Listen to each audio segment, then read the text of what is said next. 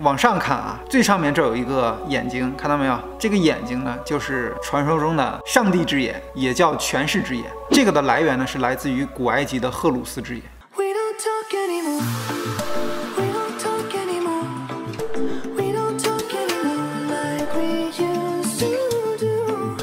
大家好，我是尼可感性 K 哥，欢迎来到我的频道。我的频道是关于探索宇宙和未解之谜的。如果你还没有订阅我的频道，请点击下面的订阅按钮，打开小铃铛，当当，以后呢有精彩影片就不会再错过了。那我们开始正片吧。当今世上有两个非常神秘的组织，大家应该多多少少呢都有听说过，就是光明会和共济会。但是呢，很多人对这两个会啊分不清楚，以为是一回事儿，但其实呢是两个完全不同的组织。那为什么这么多人分不清呢？可能是因为这两个组织呢，他们招收的这个会员呀比较类似啊，他们都只招这个地球上最精英的顶尖的人才啊，像各界的名人、富豪，还有政治家。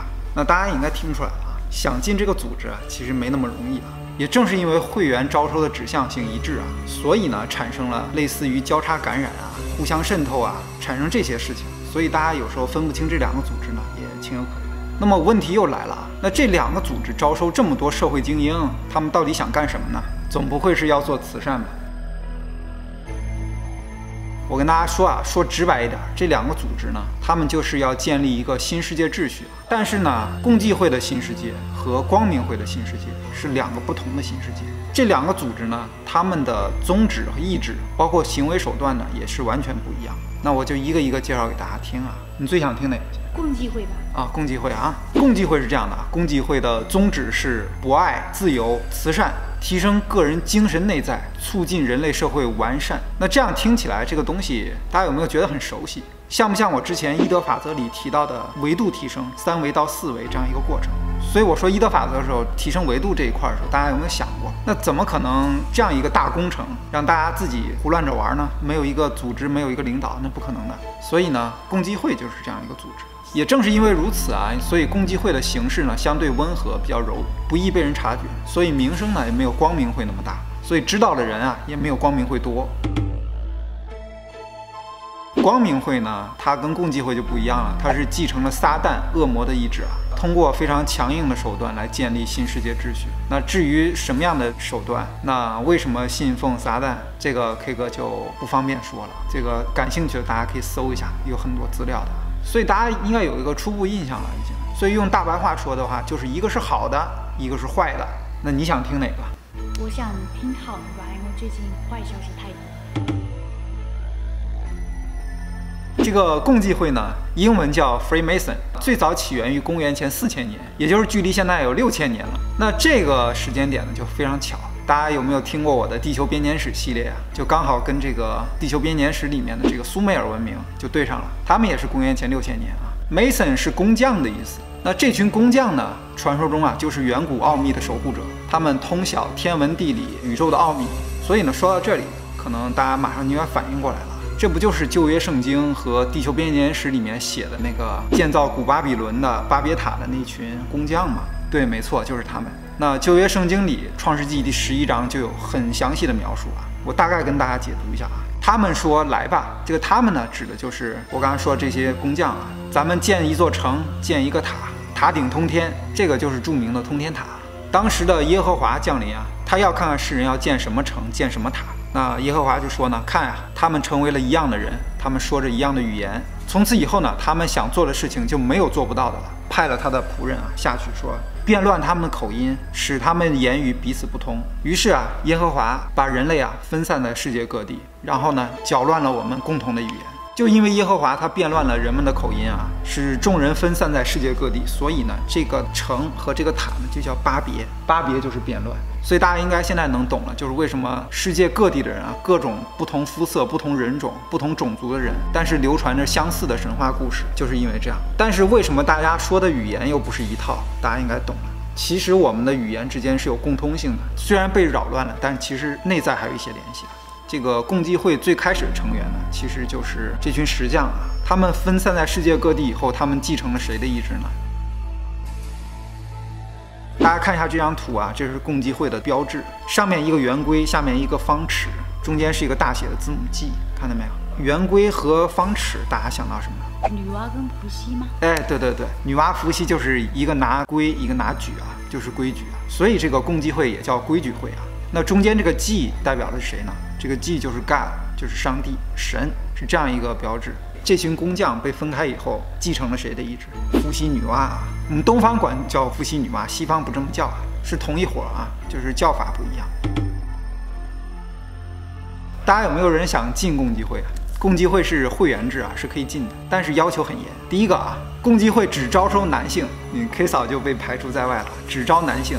第二个啊，入会标准，第二个必须是有神论者，你要不信神，没办法。第三个就是必须有两个共济会的会员推荐你，你不能外来的，大家不认识你，你也进不来。共济会的会员呢，这个等级是非常森严的，最初级的学徒一直到最高级的三十三级，按资排辈一样的这样。那一级和二级啊，就是这个学徒和技工呢，他们是非正式会员。等你到了三级以后啊，你就转正了。那这个共济会呢，就会给你发一个证书，类似毕业证一样的东西啊，就证明你现在是我正式会员了。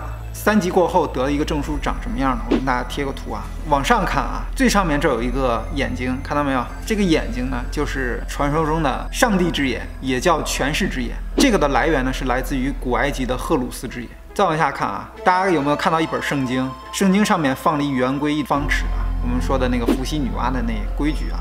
大家往左右两边看啊，分别有两根柱子，看到没有？这个两根柱子上面啊，也分别有这个圆规和方尺，看到没有？那在柱子上面呢，左边这个柱子上面挂了个地球，右边这个大家可能看不懂啊，一个蓝色的，这是什么星球呢？看过我之前视频的小伙伴应该知道，这个就是天狼星啊。伏羲女娲来自这儿啊，把自己家乡挂在这儿。大家再往下看啊，底下有个 G，然后发着光啊，这个 G 呢，就是我们刚才说的共济会的标志中间那个字母啊，就是神啊。下面呢有一男一女两个神啊，这两个神是谁？很多人都猜出来了，这不就是咱们东方人口中的伏羲女娲吗？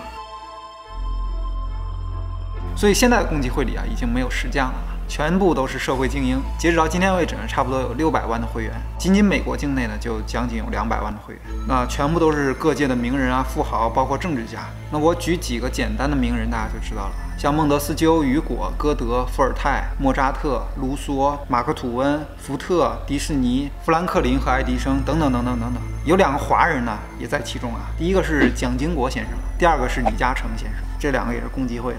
说到共济会里的政治人物呢，就不得不提美国的开国元勋乔治华盛顿和本杰明富兰克林了。他们两个也是共济会的成员。华盛顿呢，还有一个故事啊，在一七九三年九月十八号的时候，乔治华盛顿穿戴全套的共济会徽章和礼袍，为美国国会大厦主持了奠基仪式。那以共济会的会议礼仪呢，安放了奠基石。那这个就坐实了他是共济会的成员。那时至今日呢，有四十四位美国总统当中，十四位都是共济会成员，这是已知的。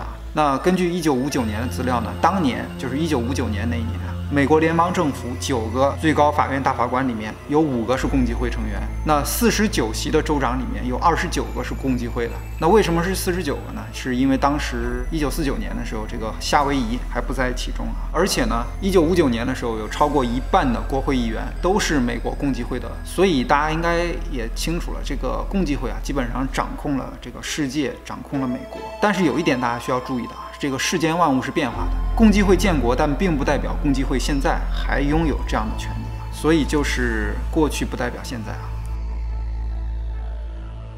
这个共济会对人类历史产生多大作用呢？这个西方近代史啊，几乎所有的大事件多多少少都和共济会有关。从法国革命到美国独立，从俄国革命到以色列复国，边边角角到处都是共济会的影子。其中我说几个著名的共济会成员，再说一个历史事件，大家就懂了。有三个人我不得不提啊，第一个是温斯顿·丘吉尔，第二个是富兰克林·罗斯福，第三个是道格拉斯·麦克阿瑟。这三个人大家应该知道是什么情况啊？那希特勒呢是光明会中的一员，所以大家是不是恍然大悟啊？共济会和光明会，所以我说共济会是相对来说更光明的一个，反而叫光明会的那个呢会黑暗一些。大家手头有没有一美元？如果有的话，可以打开看一下。正面没有什么问题啊，正面是这个美国的开国元勋华盛顿啊。这个背面问题比较大，背面问题出在哪儿呢？大家看一下左边啊，左边有一个金字塔，看到没有？上面发光，哎，上面是一个三角形，里面是个眼睛嗯在发光。对，这个为什么诡异呢？因为这个美金啊顶上出现金字塔，就特别不合理。为啥呢？给你举个例子，就好比人民币上突然出现了日本的富士山，啊，日元上出现了法国的埃菲尔铁塔，这就不合理啊。那为什么还是偏偏是古埃及呢？这就更不合理了。而且大家看一下这个金字塔尖儿没有完成，所以这个顶上的尖儿啊上去还差十三节啊。有一个三角形，里面是个眼睛，这个就是我们前面提到的那个上帝之眼，也叫权势之眼。它的来源就是古埃及的赫鲁斯之眼，那刚好又跟埃及联系上了。大家看一下这个眼睛上面有一串的字母，看到没？这是用拉丁文，不是写的英文啊。这个拉丁文翻译过来什么意思呢？这个拉丁文翻译过来是“上帝赐予我们一切”啊。这个金字塔下面还有一串拉丁文，这串拉丁文翻译过来是“新世界秩序”。金字塔底部还有一串罗马数字，看到没？这个翻译过来是一七七六啊。呃，一七七六年呢，刚好美国建国啊，而且呢，这个一七七六年啊，也刚好是光明会建会的那一天。金字塔是个正三角形，再把它反三角形过来以后呢，刚好得一六芒星，看到吗？这六芒星的六个点啊，刚好指出了几个字母，刚好就是 Mason。这个 Mason 就是共济会的缩写，而且在这个美元上面有权势之眼呀、金字塔这些，就特别不正常。大家觉得这是巧合吗？而且大家有没有觉得很奇怪？像权势之眼呀，我刚才提到的新世界秩序啊，这些，包括我刚才最后提到的 Mason，那到底是共济会还是光明会啊？之前呢，K 哥已经跟大家说了啊，这个共济会在美国的力量是非常强大的。那大家以为光明会就没有力量吗？不要小看了光明会，光明会更厉害啊。科比呢也是共济会的一员啊。科比呢一直都是 K 哥的精神支柱啊。英雄会倒下，但是传奇永远不会死。